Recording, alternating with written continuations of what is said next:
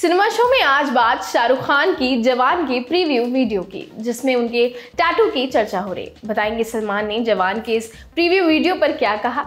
विजय सेतुपति की फ़िल्म में कौन बनेगा विलन और कंगना रनौत पर खुद को बीजेपी सदस्य बताने वाले शख्स ने क्या लगाया आरोप? मगर शो शुरू करने से पहले बता दें, इस हफ़्ते का मेरा नाम है कैलेंडर आ चुका है। इसे चेकआउट कर लीजिए। तो चलिए, डालते हैं नज़र आज की बड़ी खबरों पर।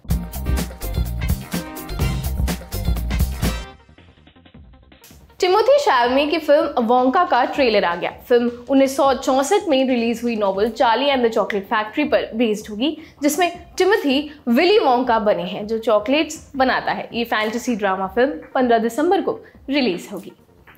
सलमान ने शाहरुख खान की जवान के प्रीव्यू वीडियो को शेयर किया, जिसमें पठान का भी ज़िक्र किया। उन्होंने कहा कि जवान का ट्रेलर उन्हें काफ़ी पसंद आया और वो पहले ही दिन ये फ़िल्म देखने जाएँगे। जया बच्चन की फ़िल्में मिली कोशिश और बावर्ची के रीमेक की अनाउंसमेंट हुई है। प्रोड्यूसर अनुश्री मेहता, अबीर सेन गुप्ता और समीर राजसिप्पी के साथ मिलकर इन तीनों फ़िल्मों के रीमेक्स को प्रोड्यूस करेंगे। जल्द इन पर काम शुरू होगा। कपिल शर्मा की film Zwigato Academy of Motion Picture Arts and Science की लाइब्रेरी में शामिल हो गई है। डायरेक्टर नंदिता दास ने अपने इंस्टाग्राम पर अनाउंस किया कि उनकी फ़िल्म ज्विगाटो को ऑस्कर की लाइब्रेरी में शामिल किया जा रहा है। शाहरुख खान ने अपनी अपकमिंग फ़िल्म जवान से जुड़े सभी लोगों को शुक्रिया कहा है। शाहरुख ने सभी के ट्वीट को रीट्वीट करते हुए director Atlee, actor Vijay Sethupathi, dance director Shobi Paulraj, Sunil Grover, Yogi Babu, editor Ruben Sumit, Arora और म्यूज़िक डायरेक्टर अनिरुद्ध रविचंद्रन को फ़िल्म से जुड़ने के लिए शुक्रिया कहा। जिमी शेरगिल की हाईएस्ट कॉमेडी ड्रामा फ़िल्म चूना की रिलीज़ डेट आ गई है। पुष्पेंद्र नाथ मिश्रा के डायरेक्शन में बनी है मूवी चूना, तीन अगस्त को नेटफ्लिक्स पर प्रीमियर होगी। दिलजीत दोसांझ, जसवंत सिंह खालड़ा की बायोपिक में काम कर रहे हैं। सीबीएफसी से मूवी को ए सर्टिफिकेट मिला है। सेंट्रल बोर्ड ने मूवी में 20 कट्स भी लगाने को कहा है, जिसके बाद फ़िल्म के मेकर सीबीएफसी के इस निर्णय के खिलाफ हाई कोर्ट पहुँच गए हैं। बॉलीवुड हंगामा की रिपोर्ट के मुताबिक प्रोड्यूसर रोनी स्क्रूवाला ने बॉम्बे हाई कोर्ट में इसके खिलाफ अपील दर्ज की है, जिस पर 14 जुलाई को सुनवाई की जाएगी। खुद को बीजेपी के कार्यकर्ता बताने वाले मयंक मधुर ने कंगना रनौत और उनकी फ़िल्म तेजस की टीम पर धोखाधड़ी का आरोप लगाया है। साथ ही लीगल एक्शन लेने की बात कही है। बॉलीवुड हंगामा की रिपोर्ट के मुताबिक मयंक ने कहा कि उन्होंने कंगना रनौत की मीटिंग्स कई बड़े नेताओं से करवाई। उन्हें शूटिंग के लिए बहुत सी परमिशन दिलाई। मयंक का आरोप है कि कंगना ने उनसे वादा किया था कि वो तेजस फ़िल्म में मयंक को रोल देंगी, मगर ऐसा नहीं हुआ। मयंक ने कहा कि उनकी फ़ीस भी उन्हें अभी तक नहीं मिली है। अब वो कंगना एंड टीम के खिलाफ लीगल एक्शन लेंगे।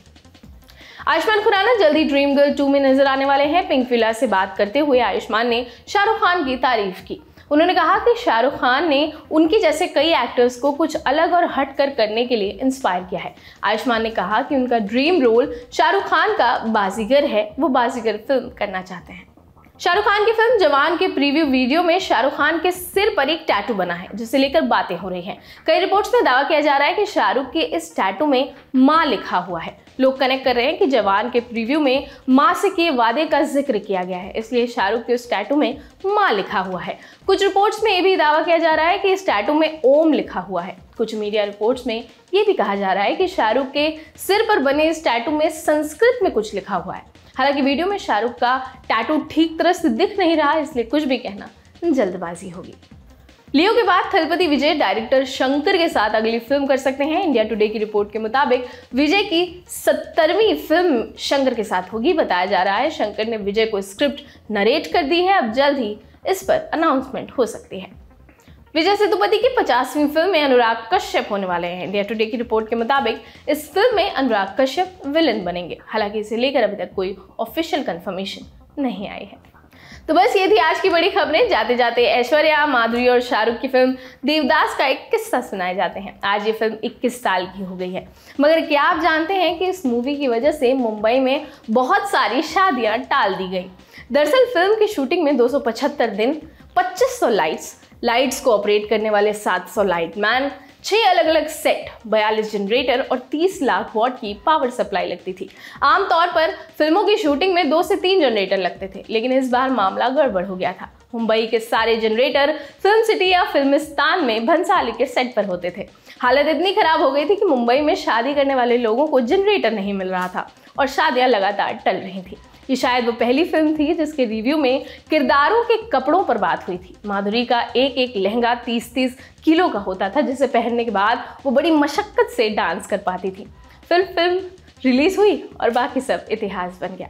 आपकी इस फ़िल्म से क्या यादें जुड़ी, हमें सेक्शन में ज़रूर बताइए। जुड़े रहिए हमसे, देखते रहिए टॉप सिनेमा। शुक्रिया।